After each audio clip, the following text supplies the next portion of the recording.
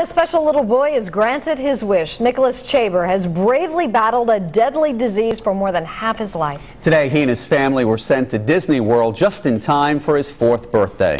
Eyewitness News reporter Erin Kennedy has the story, new at 6. After a two-year battle with brain cancer, Nicholas's doctors finally gave him permission to travel, and now he's celebrating in Orlando. This amazing trip and experience was all coordinated and donated by Children's Wishes of Rhode Island. Early this morning, Nicholas Nicholas's entire family, parents and grandparents, were picked up in a limousine which was donated by Sentinel Limo of East Providence. While on vacation in Orlando, the family will also be there to celebrate Nicholas's fourth birthday on May 4th.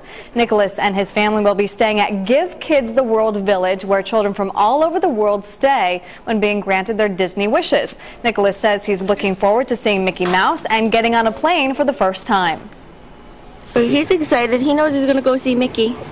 So Yeah? he can't wait, yeah. We were talking to him about it a couple of days now, telling him he's Ready going on on a plane. plane. That's the first thing he grabbed this morning when his plane because he knows he's going on it for the first time. I just got off the phone with Children's Wishes of Rhode Island. They tell me the family already texted to say they have arrived safely and we're very much looking forward to spending a week celebrating Nicholas's recovery and strength. Erin Kennedy, Eyewitness News.